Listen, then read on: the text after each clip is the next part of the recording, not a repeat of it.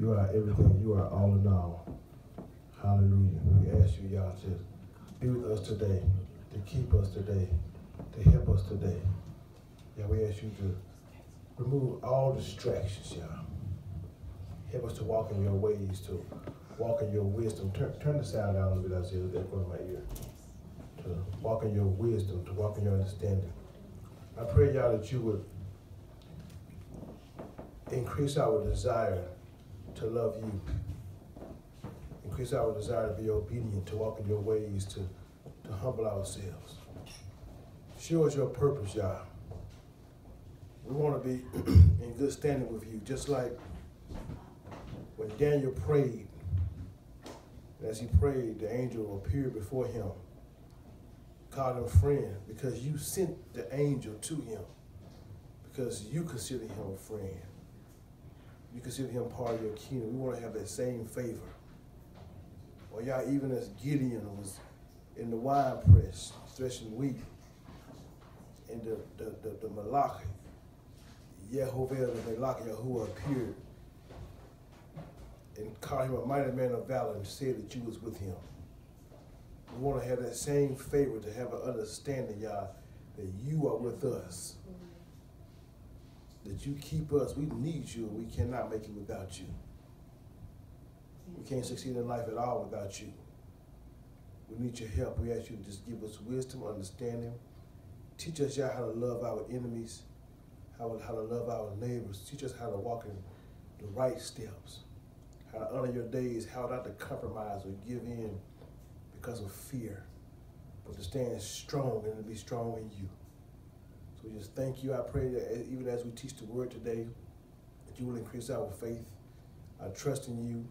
For your word it says that faith comes by hearing and hearing by your word. So we pray that you increase our trust. Increase it, y'all, so we can believe in you and not give in to the adversary because of the trials and tests that we have or because of the ways that we have to go. So we thank you and we just glorify you in Yeshua HaMashiach's name. Amen. Shalom, everyone. Shalom. Shabbat shalom. Uh, praise Yah. Today is the 21st day of counting the Omer.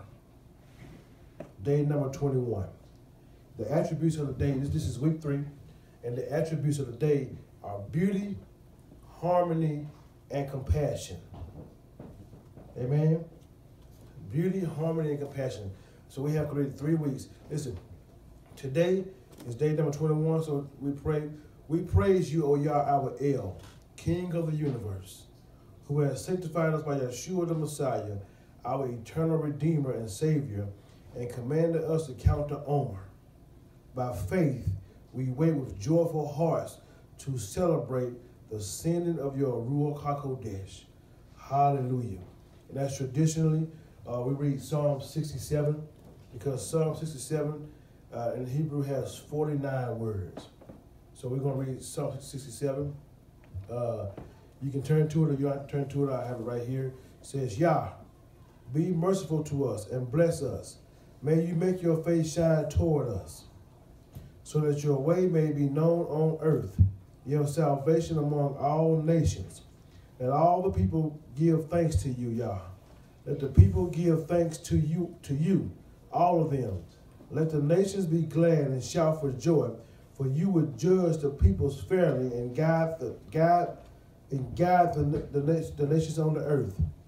And all the people give thanks to you, Yah. And all the people give thanks to you, all of them. The earth has yielded its harvest, and may Yah our El bless us. May Yah continue to bless us, so that all the ends of the earth will fear you. Hallelujah. Hallelujah sitting at the feet of our Messiah Yeshua. Don't open your mouth. If, if your words will be a poor reflection of the Master, Yeshua, uh, to your friend and family. It says, don't open your mouth if your words will be a poor reflection of the Master Yeshua for your friends and family. Shut your mouth. Amen. First Peter 2 22 to 25 says, He committed no sin, nor any deceit was found on his lips. And when he was insulted, He didn't retaliate with insults. When he suffered, he didn't threaten, but handed them over to him who judges justly. He himself bore our sins in his own body on the stake, so that we might die to sins and live for righteousness. By his wounds you were healed, for you used to be like sheep going astray, but now you have turned to the shepherd who watches over you. The Messiah Yeshua is our example of how we are to act in the face of persecution. When he was reviled and insulted, he did not revile or offer insult in return. When he was abused and suffered, he made no threats of vengeance. the carnal believer that walks after the flesh will always react with wrong words when he or she is reviled or insulted. Everything we say and do is a reflection of the master we serve. Our lives and words showing that we serve Messiah Yeshua. Are, are our lives and words showing that we serve the Messiah Yeshua? Or are our words showing the world that the adversary is the master of our lives? We are to be Ruach or spirit controlled at all times and, and take this discipline. But when we do the fruit of the Ruach and spirit, when we do the fruit of the Ruach and spirit become more evident in our lives and to those around us and bring esteem to Yah. As believers who walk according to Torah and we proclaim Messiah Yeshua as our master, we need to be accountable to one another for our actions and words and be quick to repent to one another. When we need to return to the practice, we need to return to the practice in the renewed covenant, the New Testament, that tells us to confess our faults and sins to one another so we will be healed. We are so full of pride and fear of rejection that we do not want to do this. However, if we do, healing will come then that that is what being a being a messianic community is all about. And it is what knits us together when we learn to love, forgive, and pray for one another. James 5.16 says, Therefore openly acknowledge your sins to one another and pray for each other so you may be healed. The prayer of a righteous person is powerful and effective. Today, make the decision to follow after Messiah and his example and let him be the master of your life in every area, especially your words. May our lips speak forth words filled with beauty, harmony, and compassion as we wait, as we await his return. The first step is avoiding evil to avoid an evil speech is to recognize our own faults and commit to improving on them. When I accept that I alone am responsible for my inadequacies, then I would then I would similarly be less critical and more tolerant of others. If you find yourself getting getting down about yourself on others, try focusing away from the faults and instead and instead and instead on the virtues. Philippians 4 and 8 encourages finally, brother, whatever things are true, whatever things are noble, whatever things are just, whatever things are pure, whatever things are lovely, Whatever things are of a good report, if there be any virtue and if there be any praiseworthy, meditate on these things. It will lift you out of negativity. The Torah encourages us don't take the easy way out, feeling down. Work hard to improve yourself. Amen. amen. Have a wonderful Shabbat. Shalom. So, amen. That's that, that's day 21 of counting the Omer. It's important we are commanded to count the Omer. Count down to Shavuot. Um, on, on when you when you read Acts two, uh, that's that's about thirteen hundred years later, when um when, when after Yeshua had left, and the spirit of truth was given on Shavuot. Now the spirit of truth didn't come from men to go. That is not what they were doing the correct translation is they were speaking other languages. And if you look at the scriptures, they begin to prophesy. They begin to foretell or foretell the word of Yah. Yah was putting his covenant, his Torah, on their inward parts. Cloven tongues of fire came on the head. They began to speak as the Spirit gave them utterance. So let, us get ready, be excited, get yourself together, be disciplined, learn to love. Let's walk in humility. Let's let's combat the adversary. Let's let's not let the adversary defeat us and kill us. He's cunning and crafty. He's, he, he's trickery. He, he's a trickster. And we should not let him defeat our lives. That's not good. You know, we need to really live right and not compromise and give in because of how we feel. You know, even, you know, sometimes I feel like a nut and sometimes I don't. You know, almond joy has nuts, mine don't. It ain't about how you feel. You know, it's about what Yah says, about His word, His way, His will. Amen? And that's real. So we are on uh, part three. This may be our last part, not sure, about being born again. And we're going to deal with um, Israel separation from Yah. Our foundation the scripture today is going to be John 3. Um, we're going we're going to deal with John 3 about Nicodemus uh, coming to Yeshua. And we, but today we're just going to, we're going to um, we're going to have to start with verse 1 because it's, it's good. So John 3 and 1 says, There was a man among the P'rushim or the Pharisees named Nicodemus, who was a ruler of the Judeans. This man came to Yeshua by night and said to him, Rabbi, we know that it is from Yah that you have come as a teacher. For no one can do these miracles you perform unless Yah is with him. Yes, indeed, Yeshua answered. Yes, indeed.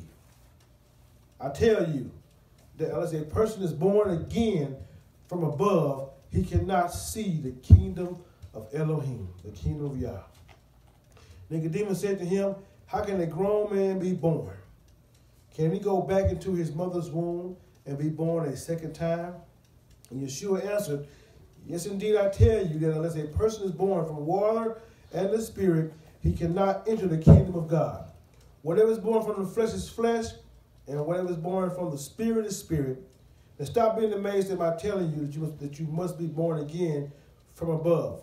The wind blows where it wants to, and you hear its sound, but you don't know where it comes from or where it's going. That's how it is with everyone who has been born from the Spirit. Nicodemus replied, How can this happen? And Yeshua answered him, You hold the office of a teacher in Israel, and you don't know this? Yes, indeed, I tell you that what we speak about, we know. And what we give evidence of, we have seen. But you people don't accept our evidence.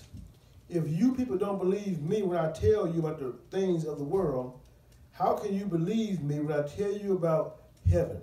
No one has gone up into heaven. There's only the one who has come down from heaven, the Son of Man. Just as Moshe lifted up the serpent in the desert, so must the Son of Man be lifted up, so that everyone who trusts in him may have eternal life. Now let's push, let, let, let's, let's go somewhere. The Son of Man.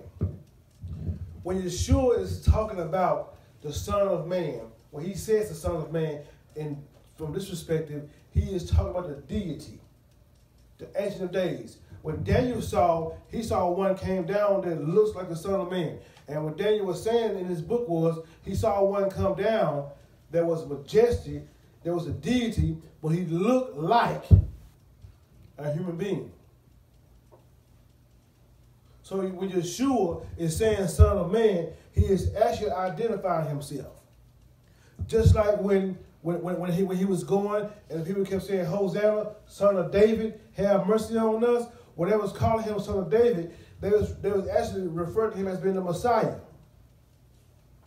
Because the bloodline, because the Messiah comes to their bloodline. So Yeshua is talking, is, is talking about being the son of man. Now, we're gonna deal with, we're gonna deal with the subject of uh, what happened by Israel being be born again. So we're gonna go to, to Isaiah 59 and begin at verse 2. Because what got us in, in, in, in the position that we're in. Now listen, I want to explain something. When Yah made Adam, this is not just about Adam. When Yah made Adam, all of mankind fell into sin. All of mankind. After Adam, the word says by one man's disobedience, many were made sinners, and so by the obedience of one, shall many be called into righteousness. But Yeshua, after that, after Adam, after Noah, Yah met a man named Abraham. His name was Avram or Abram. And, and, and Yah met a man named Abram. and he entered into this covenant with him. And he told him that, that, that all the earths of all the nations of the earth shall be blessed by this one man, him and his descendants after him, him and his seed. So now, Abraham has a son by the promise from, from the woman of promise by faith.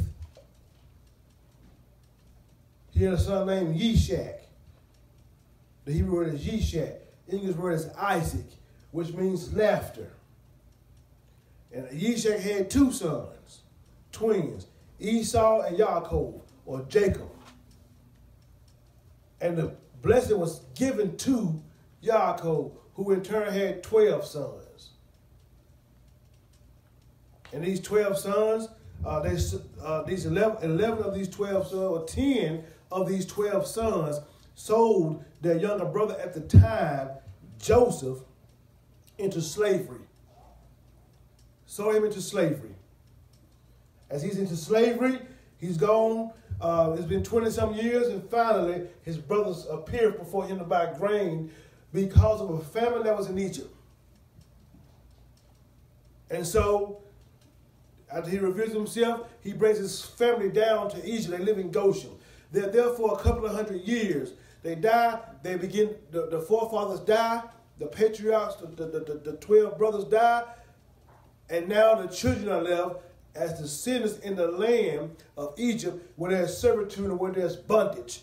Where they're upon a harsh trial, they're being tested by the wicked king Pharaoh who had no relationship or didn't have no regard for Joseph and what he had done for Egypt. So, with that being said, Yah sends his deliverer by the name of Moshe. Moshe, whose name spelled backwards, is the name Hashem, which means reputation. So Yah used Moshe to reveal his character and his nature to Israel. Yeah. And so now, as he brings them out of Egypt, he brings them across the Red Sea by a miracle. By Moses raising his rod up, the sea split, the ground dry, dry, the ground dries, and millions of them walk across on dry land, entering into a covenant with the Most High.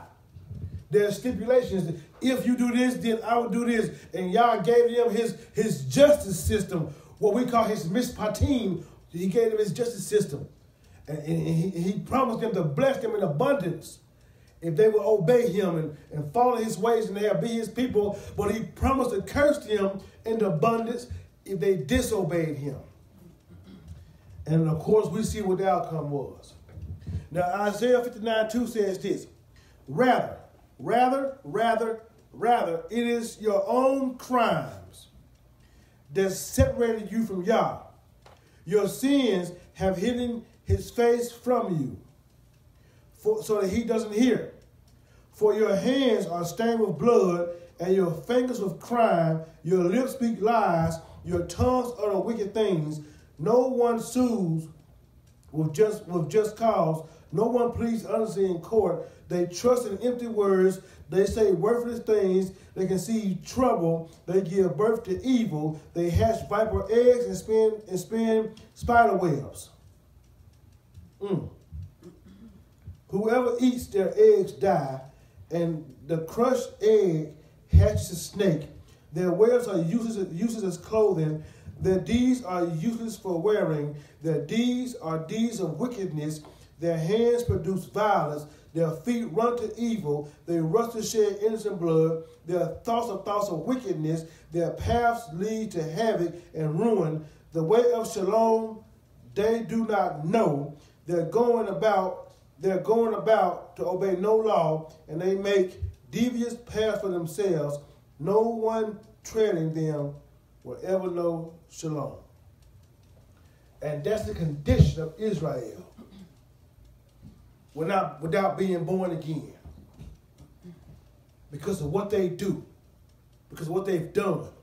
Yah said, Yah says, rather it's your own crimes.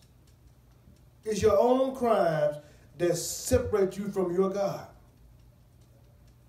Your sins have hidden his face from you so that he doesn't hear. So, they, so Israel is in a state that's a bad situation. They're in a bad state. They're in a bad state. The, the, the, listen, the world is, is subject to condemnation, and in the end will have its sinfulness condemned. But Yeshua's first coming was not for that purpose. In, that, in the day of judgment, he would judge who condemns the world. But he came to bring back the lost sheep of the house of Israel. He came back to bring mankind back to himself. Now, let, let, let's see what happened to Israel. Let's go to Deuteronomy.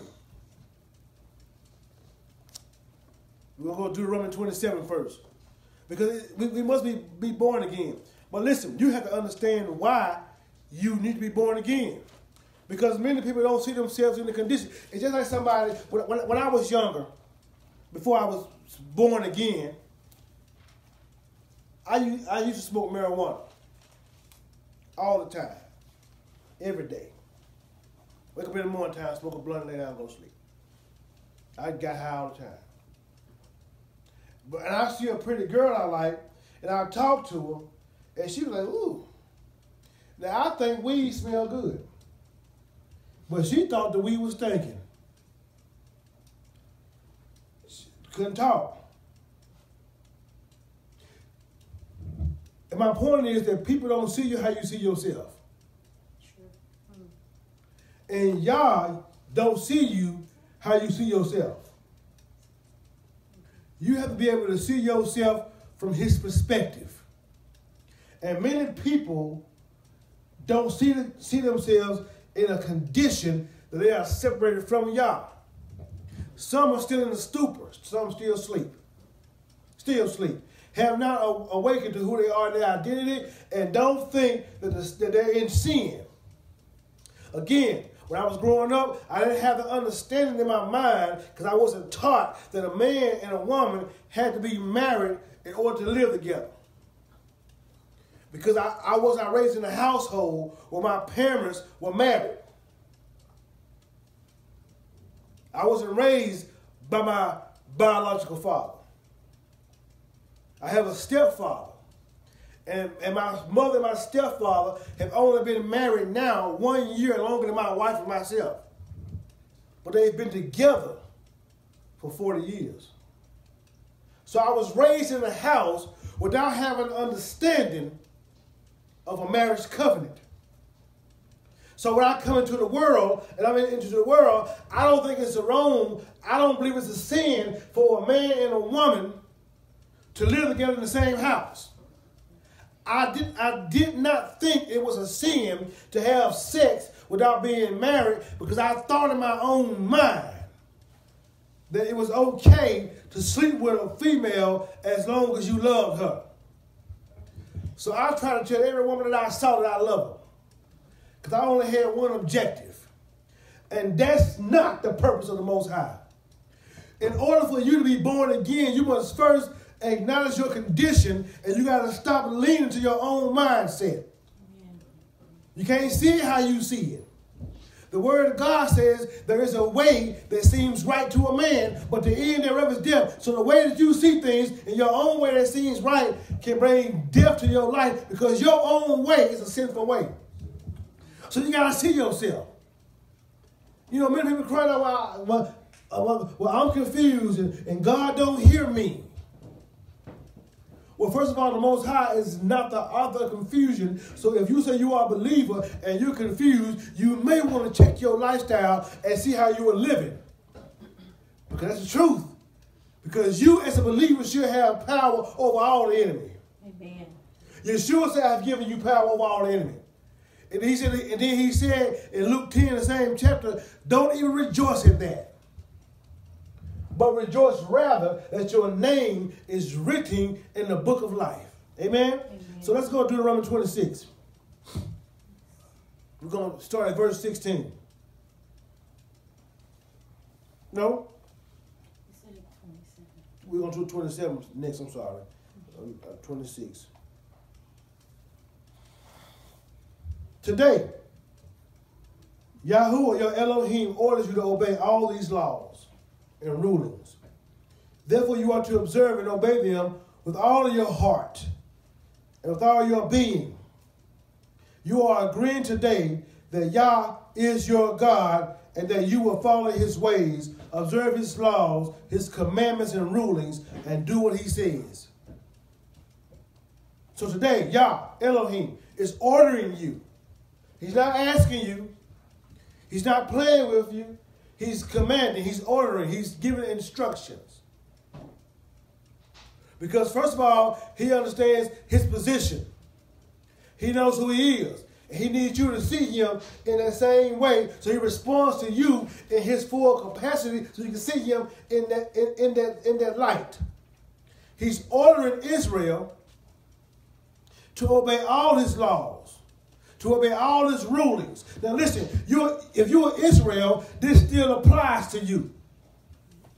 Whether you're a natural Israel or whether you're granted into the commonwealth of Israel, the word of Yah still applies to your life. And if you don't follow Torah, then you are in trouble. It don't matter what the people say, we no, no longer under the law. They're telling you a lie.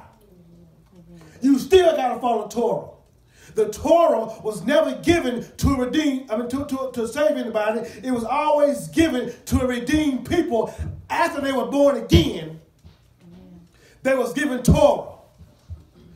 People right now in, in, in, traditional churches and in Christianity is waiting for Pentecost. The Holy Ghost. The Holy Ghost is only given to, to anybody that's redeemed. And the Spirit of Yah that's given to you is given to you after you're redeemed, is given to lead you and guide you into all truth. What is truth? His word is truth. His word, what's his word? What is Yeshua talking about? His word is the Torah the Tanakh, the Torah, the Nevi'im and Ketuvim, the writings of the prophets. Yeshua didn't have Paul's letters. Right. He didn't have Timothy and Second Timothy, Hebrews and Corinthians. He had Daniel. He had Lamentations, Jeremiah. He had Maccabees and Leviticus and Deuteronomy and Genesis and Exodus. He had the Torah. So if you if, if you getting ready for Pentecost, you getting fired up, then you need to be redeemed for real. Because the Torah is given to redeem people. So this still applies today to the believer. Whether you're native born or whether you are grafted in. Hallelujah. So it says in the word again, you are agreeing today that Yah is your Elohim. You're agreeing. You are entering into a covenant. You are agreeing today that Yah is your Elohim and that you will follow his ways. Observe his laws, mitzvot and rulers, and do what he says. You agree to that. And in return, Yah is agreeing. This is them into the covenant is agreeing that you are his own, agreeing today that you are his own unique treasure as he promised you that you are to observe all his commandments, his mitzvot. Listen to this. If you don't follow Torah and say that you should not obey, you're no longer under the law, then murder is just your opinion. So it's I mean adultery and stealing. Okay, that's the ten words. That, that, that, that's the ten commandments that's given in the Torah. So if you believe that should not steal, you should follow Torah. Because that's Torah. And to say you're no longer under that means you no longer have to abide by those rules. So you gotta follow the Torah. Anyway, I want you to understand this because the adversary is cunning and crafty. He has many false prophets out here, false apostles, false teachers telling you lies, and they're trying to get money and get rich and get paid and get clout and get esteem and want a big crowd. So they're willing to compromise Yah's word and, and, and don't care about you, it's all about them. And Yah's going to judge them and you. Why? Because nobody has an excuse to remain ignorant any man or woman that of, of, of Yah should be able to give to you scripture to prove what they're saying, and not deceitfully, not out of context, but read it clearly because the word stands by itself. Hallelujah. And there's only one interpretation of the word. Maybe, maybe different revelations, but it says what it says. So Yah is agreeing today that you are his own treasure as he, as he promised you that you are to observe his mitzvah and that he will raise you high above all the nations as his he has made in praise, reputation, and glory, and, and that, as he said, you will be a holy people for Yah your God. Amen? So then we go down to verse to chapter 27. Verse 1. Then Moshe and all the leaders of Israel gave the orders to the people. They said, Observe all the mitzvahs I am giving you today. When you cross the Jordan to the land Yah, your Elohim is giving you, then they begin, they begin to tell about the stones. And don't cut. Why? Why? About these stones, let, let, let's read this part.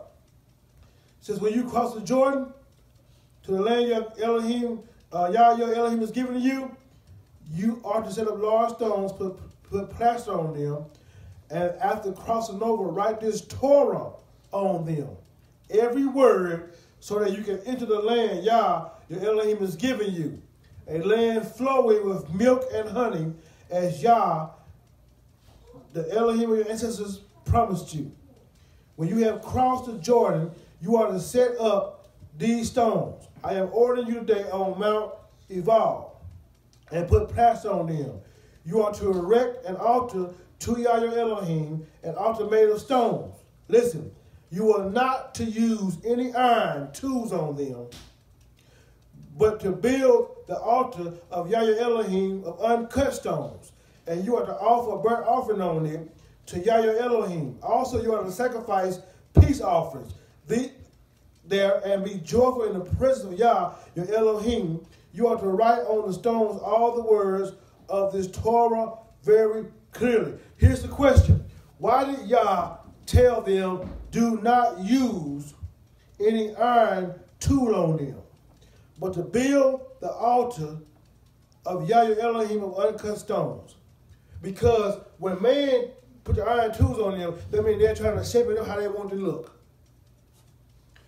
They're trying to make it how they want it to be, trying to set it up. And that's the problem now that we are putting our hand into things, trying to fit it how we want it to fit, and thinking that it's pleasing to Yah. When Yah says, use the stone of uncut stones, the stones that I made.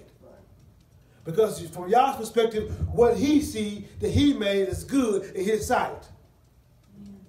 And if human beings put their hands on it, try to alter what Yah's made, that means they don't like what what what what Yah made. They want to make it look good in their sight, and they want to have what they made presented to y'all as if he would accept how what they think when human beings are fickle, rebellious, and we don't know all of it anyway. The best thing for us to do is submit ourselves to the Most High and follow His ways Amen. in spite of what we think. Amen. So He tells them to follow these ways. This is the covenant. Now, now listen to this. Begin at verse 15. Yah says in 27 15, a curse on anyone who makes a carved image, something Yah detests of handiwork, the, handiwork of a craftsman, and sets it up in secret. All the people are to, are to respond by saying amen because they're coming into the covenant. A curse on anyone who makes this, right? Where's y'all getting this from? Exodus 19, 2 says, You are not to have, you are to have no other gods before me. You are not to make for yourselves a carved image or any kind of representation of anything in heaven above, on earth beneath, or in the water below the shorelines. You are not to bow down to them or serve them. For I am Yahuwah your Elohim, a jealous God punishing the children for the sins of the parents to the third and fourth generation of those who hate me, but is spreading grace to the thousandth generation of those who love and obey me. Now listen, this is one fault that we find that we see right now, even in the, in, in the modern church. Because you got people who got fish symbols. When y'all said don't make anything in the water below. Mm-hmm. We got people who got crosses. Mm-hmm. We said don't make anything on earth on earth neither. We got the dove. Mm-hmm. When they don't put things in the heaven. And we do these things thinking it's all right. And these things push you from the Most High. A cross does not represent Yeshua the Messiah. The fish don't need them. Nor does the dove. What represents the Messiah is the word. Because Yah said, when I spoke, I didn't use any of that. I just gave you my word. A curse on people who do that. That's ugly, ain't it? A curse on anyone who dishonors his father or mother. All the people ought to say, Amen. So where's y'all getting this from? Exodus 20 and 12. Honor your father and your mother. Since you ain't lived long on the land in which Yahweh your Elohim has given you. A curse on anyone who, who moves his neighbor's boundary marker. All the people are say amen. A curse on anyone who causes a blind person to lose his way on the road. Why? Because the blind person cannot see where he's going. And when you cause him to lose his way, curse on you because you know which way to take. This can have two meanings spiritually blind and physically blind. A curse on a curse on anyone who interferes with justice for the foreigner, orphan, or widow. And all the people are to say amen. A curse on anyone who has sexual relations with his father's wife because he has violated his father's rights. Where did that come from? 1 Corinthians 5th chapter, the man with his stepmother. All these things were done that Yah says don't do. And Israel, when it was announced to Israel, they said amen. And amen means so be it. That means they were agreeing with Yah as they were entering into this covenant. Deuteronomy 28, verse 1. If you will listen closer to what Yah, your Elohim says, observing and obeying all his commandments that I am giving you today, Yah, your Elohim, will raise you high above all the nations of the earth, and all the following blessings will be yours in abundance if you do what Yah says. A blessing on you in the city, and a blessing on you in the countryside. A blessing on, on the fruit of your body, the fruit of your land, the fruit of your livestock, the, the young of your cattle and flocks, a blessing on your grain baskets and kneading bowl, a blessing on you when you go out, a blessing on you when you come in. Yahuwah will cause your enemies attacking you to be defeated before you. They will advance on you in one way and flee before you in seven ways. Yah will order a blessing to be with you in your barns and in everything you undertake. He will bless you in the land Yahuwah is giving you. He will establish you as a people separated out from himself as he has sworn to you, if you observe the mitzvot of Yahweh Elohim and follow his ways. So that's a blessing on everybody that walks into the promises of Yah out of obedience, right? Amen. All we have to do is obey, listen, pay attention, follow his ways, right? But verse 15 says this, but if you refuse to pay attention to what Yahweh Elohim says, and do not observe and obey all his commandments and regulations, which I am giving you today, then all the following curses will be yours in abundance. Ooh. A curse on you in the city, and a curse on you in the countryside, a curse on your grain basket and kneading bowl, a curse on the fruit of your body. What is the fruit of your body? Your children. and, and the fruit of your land, and on, the younger, your flocks and the cattle, a curse on you when you come in, and a curse on you when you go out. Yahuwah will send on you curses, disasters, frustrations, and everything you go you set out to do until you are destroyed and quickly perish because of your evil actions in abandoning me. So now here it is. Listen to this. Israel did everything that Yah says don't do. And even today, if you look right now, Israel is still doing the very things that Yah says don't do. We have very few here that have awakened, but now you even have Israel telling you that you do not have to follow the Torah because they are giving you teachings from their own slave masters.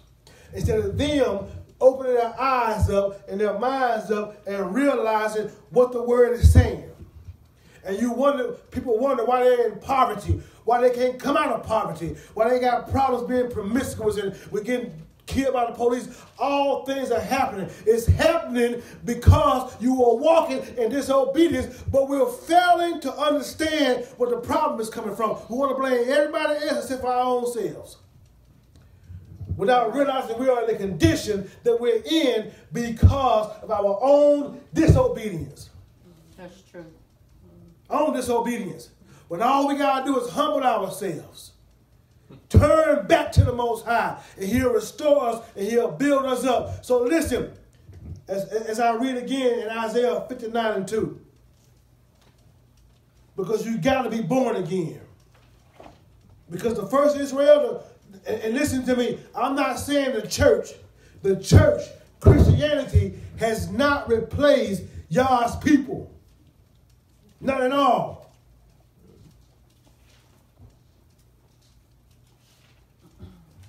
They have not. Yah has not forsaken his people, but his people have forsaken him. 59 2 says this Rather, it is your own crimes that separate you from your God. Your sins have hidden his face from you so that he doesn't hear. it's not that he's turned his back on you your own sin have hidden his face from you so that he doesn't hear. Push pause. What sin? Inadvertently sinning or intentional sin? Intentionally sinning because when Yah entered into the covenant with Israel, he made full known of who he was and what he expected. He explained it very clearly to Israel. And then they said, after every commandment was given, Amen. Amen. We agree. And when they violated their covenant because they went to whoring after other gods, they went astray, started bowing down before other gods started doing things that was inappropriate in the eyes of the Most High, which caused them to lose out on the blessings and receive every curse in abundance. So now, because of Israel's disobedience, they can't seem to get ahead. I hear most Israelites saying, you know, I'm robbing Peter to pay Paul. They can't get ahead, can't win for losing and, and, and, and, we think it's the pressure, the system, or the man that has his hand on us because of where we are. But we can't get ahead, they want to hold us back. No, as a people, we need to turn from our sins and turn back to Yah. Listen, we have, we, we have a bill that's been passed in the state that I live in. I live in the state of Alabama, and the abortion bill that's passed. And I, and I agree with it. I think that abortion is a sin and abortion is murder. But people want to get offended and say, well, they passed the abortion bill. Then what about the police killing us unjustly? Well, that's murder too. But guess what? It's also murder for you to kill your own brother. Over an argument, you want to pull your knife out, you want to pull your pistol out, and you want to shoot your own brother because you don't like him. Or it's also a, a, sin for you to be a drug dealer, knowing you're doing wrong. It's also a sin for you to get high or to be a parent and do your child wrong. If you're going to call sin out, then call sin out. Because sin is not sin, but intentional sin will lead you to death. And sinning on purpose and know you're doing wrong, if you're going to get mad at your abortion bill, then get mad at yourself for hating your brother. Because the commandment says to love your neighbor. It also says to love your enemy. Who is your enemy? Your enemy is anybody you come in contact to. And all these things that you refuse to do will cause you to get farther and farther and farther away from the Most High. So we got to deal with the issue of sin, then let's deal with the issue of sin. Our sin, our own crimes, our own disobedience has caused us to move far from Yah. So I'm commissioning and telling you today turn from your sins. Stop doing what you're doing. Swallow your pride. Become convicted and ask Yah to forgive you. The problem is this morning, as we were learning in our Torah class, the word says that, that when you don't confess your sins, it's just like saying that you have not sinned at all. First John 1 and 9 says, If we confess our sins, he is faithful and just to forgive us and cleanse us from all unrighteousness. Verse 10 says, If we say that we are without sin, then we are calling him to be a liar. And the word decrees and declares that Yah is not a liar. So we got to confess our sins. We got, we got to confess, we got to ask Him to forgive us and to make us new, to make us whole, to wake us up so we can come out of what we're in. Hallelujah. So Yeshua said, tell Nicodemus, he said, listen, man, you hold the office of a teacher in Israel, and you don't know what I'm saying. You have no understanding of what I'm saying you as a teacher to be more sensitive to what I'm saying. Now I'm gonna say this, and this may be offensive, but it'll be all right. We'd had folks leave, and walk away before, so I'm used to it now. But name one apostle or prophet in the Bible that never honored the Sabbath. Name one apostle or prophet in the Bible that never followed Torah. Name one apostle or prophet in the Bible that honored Christmas. Name one apostle or prophet in the Bible that just indulged in unclean foods. Or a pastor. Because these things are what's killing us. Because we want to follow the sun god worship. And we want to worship on Sunday in agreement when supposed to be under the Sabbath. And the Sabbath is a perpetual covenant. You cannot tell me that Yah is the same yesterday, today, and forevermore. He don't change. And the same mouth tell me we ain't got to follow Torah. Because that's the case that he changed. And he don't change. And because of these things that we do, it's causing us to live miserable lives. Listen, family, give your children a chance. Like I was telling someone the other day, why would you get high in front of your kids and you spoil their chance in life? Because when they see you doing simple things as far as being promiscuous, as far as drug abuse, do you not think that they're going to grow up and be involved in the same thing that, that, that, that you're doing? Chances are they're going to be just like you. If you're acting like you're a whore, whether you're a woman or a man, then chances are your children might become hoes. If you violent towards your spouse, whether you are male or female, chances are your children are going to be violent toward their spouse. If you lazy and you don't want to go out there and work and, and, and take care of your family, chances are you're going to pass the same thing on down to your children. So if you want to see better days, if you want to have a blessed life, it ain't about the money you give. The amount of money you give cannot get you out of anything. I don't care if you're Bill Gates, Oprah Winfrey, or whoever else richest man in the world, Warren Buffett. The amount of money you give cannot get you out of a sinful condition. The amount of money you give can't get you out of whatever you're in because the Most High owns everything and He has control over everything. So if you want to come out of a bad state, Turn from your sins, turn to obedience. Matthew 4 17, Yeshua says, Repent, turn, for the kingdom of Yah is at hand. So, in order for you.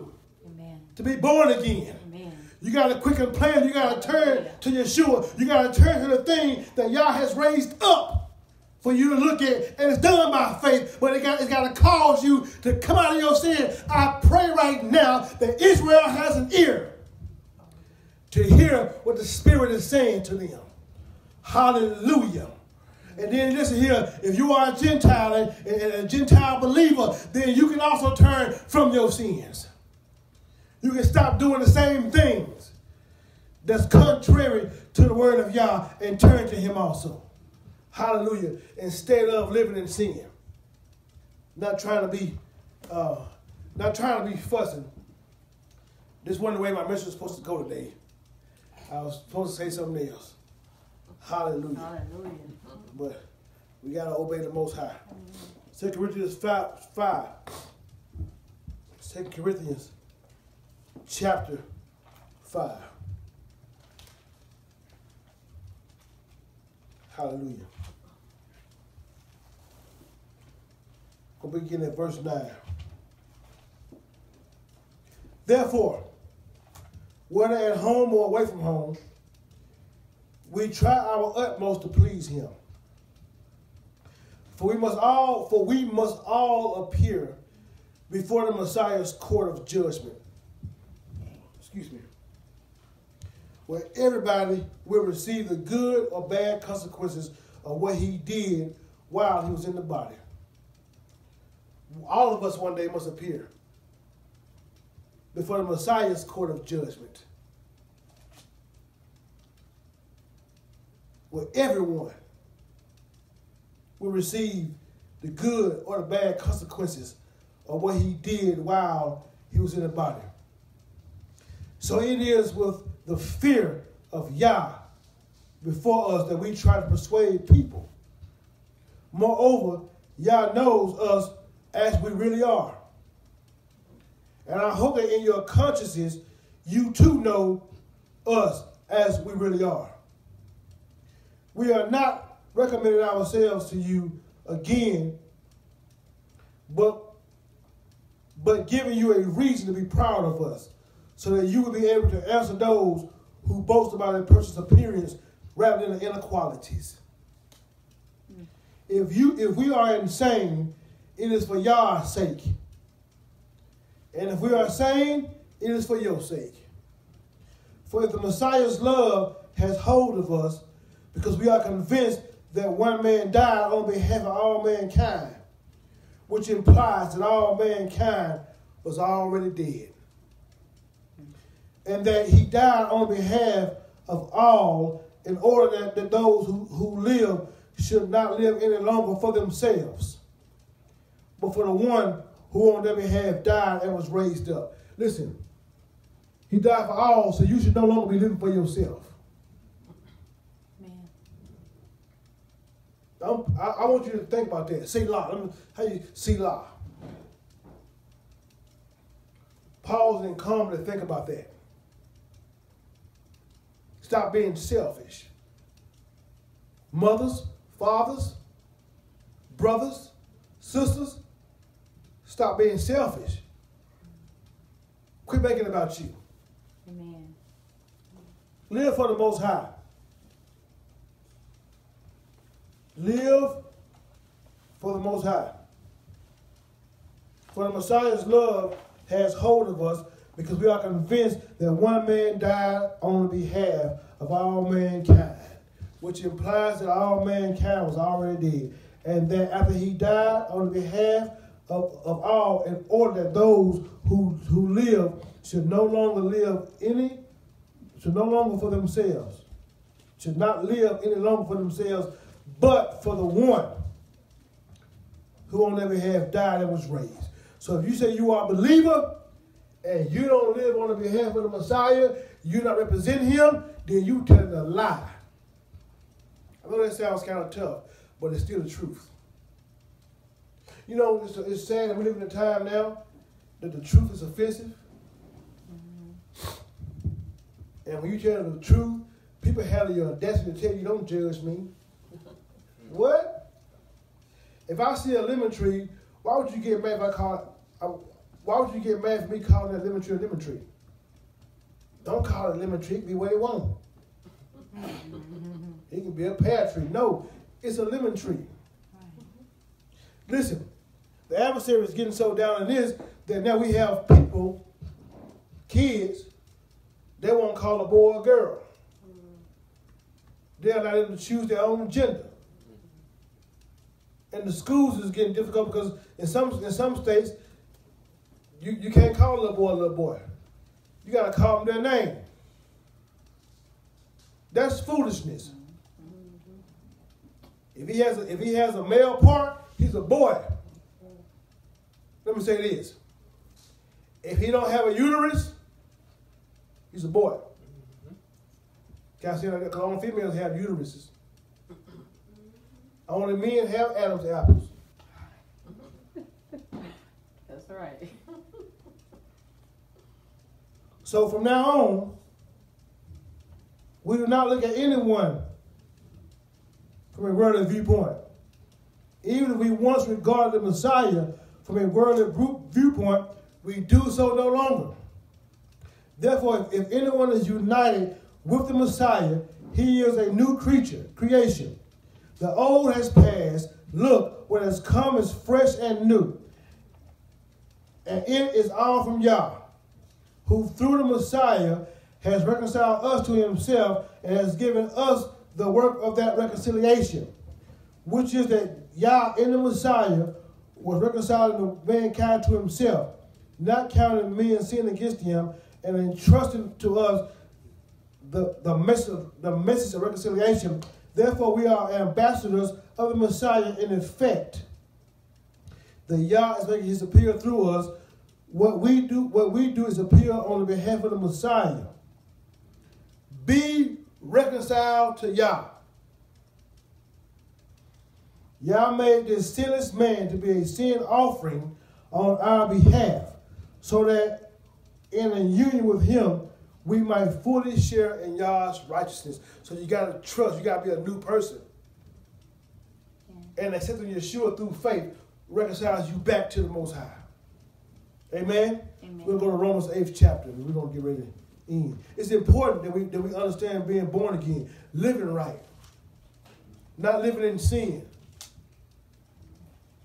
Live right for real. We were talking this morning in our Torah class about uh, polygamy. Can a man have more than one wife?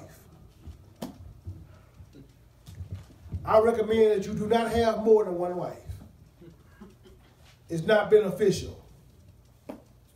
It can cause you to go astray. But guess what, though? The word says we are drawn away and enticed by our own lust, our own evil desire. So most of us want more than one wife just because we want to have sex with more than one woman. We had a wrong motive in what we're doing. See, most of us do things out of bad motives. Let your motives be right. Without any hidden agenda or hidden motives, y'all can move in your life. But when your motive is hidden, hmm. And most of us Yes, sir. Romans 8 and 1.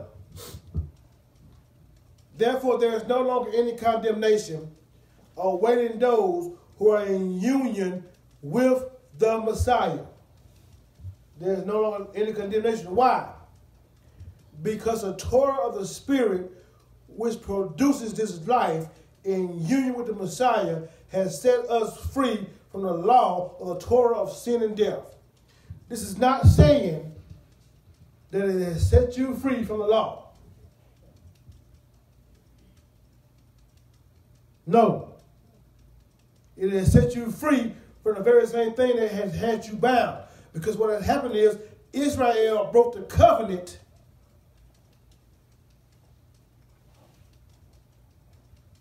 already. Adam had already sinned. He broke one law. He ate from the tree. And when he did, when he broke the law of God and rebelled against God, he received another law, which was sin and death. He began to live by sin.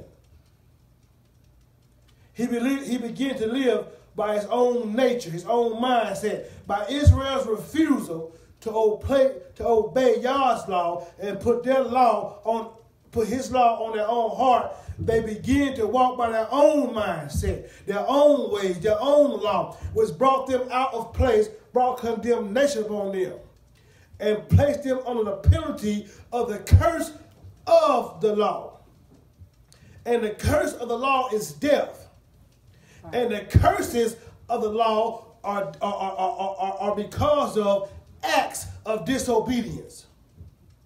And all these curses of the law came upon the children of Israel because of their disobedience to Yah's word, because they made an agreement with him. They said to him, We agree when he says, Don't have any other gods. We agree, don't disown your mother and your father. We agree, don't covet your neighbor's wife. We agree. They agreed. And he told them, If you pay attention, take heed, walk in my ways, I'll bless you in abundance, in the city and in the field. I'll move on you. The fruit of your body, I'll raise you up. But if you disobey me, if you walk in sin, if you walk in iniquity, then these curses will be yours in abundance. Yeshua HaMashiach's death, his burial, and resurrection freed you from Amen. those curses. All you have to do is accept him by your trust and be born again. See, one thing about the Most High is he always had grace. Oh, there he is. We got to prove that, don't we? Because people say that, that the, the God of the Old Testament never had grace. He was mean and evil and low down. They said that. He always had hesed. Hesed is a Hebrew word, which means loving kindness, which means grace. It don't just mean unmerited favor. How do I know that Yah always had grace? Well, okay, let's read the Bible here. Y'all ready? Exodus. And then we're going to go back to uh, Romans. Exodus 34. Beginning at verse 5, says this Yah descended in the cloud, stood with him there, and pronounced the name of Yah, the name, the character, the reputation of Yah. Yah passed before him and proclaimed, Yud Hey, Vav, Hey. Those are the, the letters to his name. Yahuwah, Yehovah, Yahweh. It's, his, it's, it's God. It's Elohim. Merciful and compassionate, slow to anger, rich in what? Grace and truth. Showing grace to the thousandth generations. Forgiving offenses, crimes, and sins yet not exonerating the guilty, but causing the negative effect of the parents' offenses to be experienced by their children and grandchildren, even by the third and fourth generations. And at once Moses bowed his head to the ground, prostrating himself, and said, If I have now found favor in your view, Yah, then please let Yah go with us, even though, even though they are stiff-necked people, and pardon our offenses and sins, and take us as your possession. So Yah always had grace. He's always had compassion. And because of his compassion, because of his grace, he has given us a way out. Amen. And that way out is to be born again, to accept Yeshua HaMashiach. And if you accept, if you accept Yeshua, then you no longer face condemnation. Yes, you no longer face it. Let's go to verse 9. Romans 8 says this, Romans 8 and 9 says, But you do not identify with your old nature, but with the Spirit, provided the Spirit of Yah is living inside you. For anyone who doesn't have the Spirit of Messiah doesn't belong to him. So let's push pause then. The spirit of Messiah, the Ruach HaKodesh, right? Mm-hmm. What does it do? It convicts us of what? It convicts us of what? Sin. Sin. Mm-hmm. What else does it do? It leads and guides us into all True. truth. So if you're still sinning, doing wrong, you may not have the spirit of the Messiah inside of you. Because it convicts you of sin. godly sorrow works repentance. So if you if, if, if, it convicts you, you know you're wrong, it causes you to do what? Turn to teshuva. Not just say I'm sorry out of my mouth, but to have an active response. To turn from doing wrong, to turn to the Most High, and to begin to do His ways. If you don't have the Spirit of Messiah, then you are none of His. And then therefore you are not born again. So it don't matter if you're going to church. Going to ministry, going to, to, to, to, to, church on the Sabbath, don't make you a believer. No more than you been in the hen house, make you a chicken. It's the life that you live. It's how you live your life. Are you growing in Yah? Uh, have you been born again 20 years? So you say you're born again and you still got a problem fornicating 20 years later. You still can't help yourself watching pornography. You still can't help yourself looking lust after other men or other women. You still can't help yourself getting violent and want to beat somebody down. You still can't help yourself. Then you may not have the spirit of the Messiah on the inside of you. And if you don't, then you're none of his. But now listen, if that's the case, then just turn. Repent. Ask for forgiveness and begin to do, do different. Come out of what you're in. Amen? Amen. Hallelujah. However, if the Messiah is in you, then on the one hand, the body is dead because of sin, but on the other hand, the spirit is given life because Yah considers you righteous. How does Yah consider you righteous? Through the Messiah.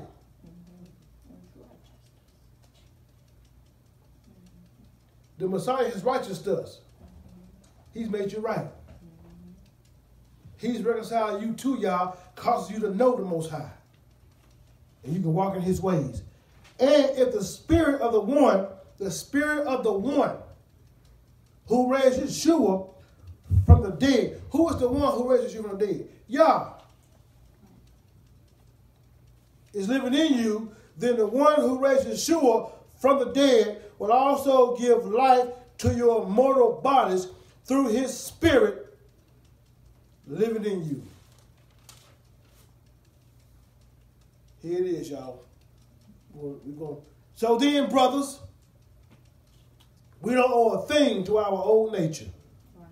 That, that will require us to live according to our old nature. For if you live according to your old nature, you will certainly die because your old nature is hostile, contrary. Rebels against Yah. Your old nature, your old mindset, how you think, what you want to do, your old ways. You don't want thing. You don't have to continue to live like that. Come out of what you're in. Turn from it. For if you live according to your old nature, you will certainly die. But if by the Spirit you keep putting to death the practices of the body, you will live by the Spirit. You know, you, you know how you live by the Spirit? Can I tell y'all a simple way how to live by the Spirit? Being obedient to what the Spirit says. What's the Spirit saying? The Spirit of Yah lines up with His Word. If you're led by the Spirit, everything the Spirit leads you to do is in this Word. Amen. So you all you gotta do, if you feel like you want to cut no, excuse me, if you feel like you want to go lie, just say, you know what? Tell the truth. If you want to steal, just don't steal. Be obedient. Amen? Amen. Verse 14 says, All who are led by Yah's Spirit are Yah's son.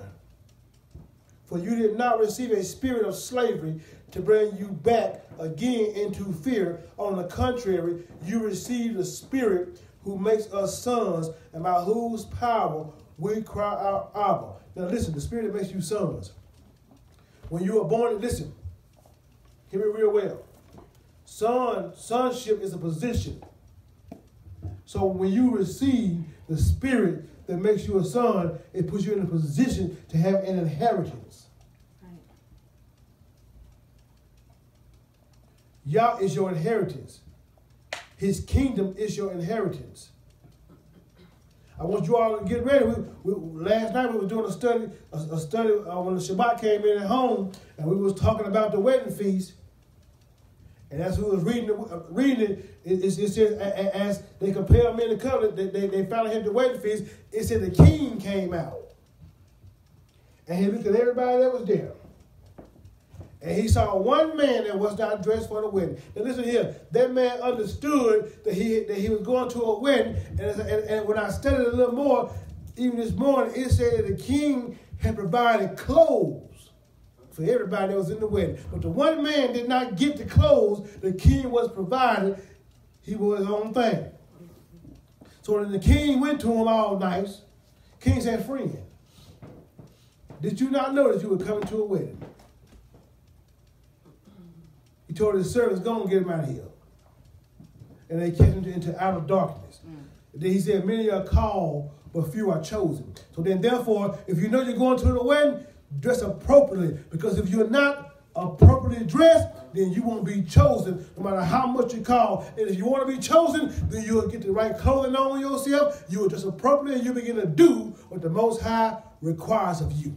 Amen. Hallelujah. Amen. So, y'all, we thank you for your mercy and your compassion. We thank you, Most High, for your loving kindness and for your goodness. And we ask you to help us to walk in obedience, to turn from our sins, to surrender ourselves to you, to make us new. Renew us, Yah. We receive Yeshua HaMashiach as the Messiah. Yeshua HaMashiach. Yeshua the Messiah. We by faith, by trust. Yah, we believe who he is who you've called him to be. We believe he's the Savior of the world. We believe that by him, through him, we're reconciled to you, and through him, we can know you. So I pray, y'all, help us to grow in your word, to grow in your purpose, to grow in your strength, to grow in your spirit. We need you and cannot make it without you. So we ask you to help us and to keep us. And, and just help us walk in your purpose. In Yeshua's name, amen. Uh, come, I need you to come and sing the area of the blessing. You're moving too fast. Hallelujah. Get Malachi, come say the area of the blessing. Hallelujah.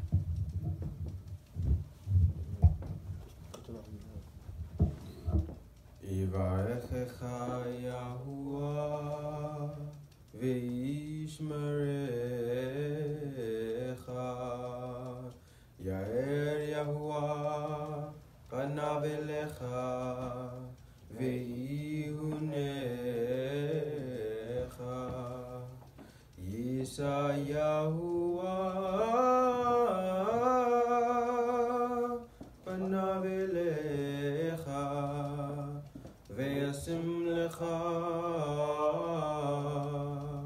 shalom. May Yah bless you and keep you. May Yah make his face shine upon you and be gracious to you. May Yah lift up his countenance upon you and give you peace. Shalom.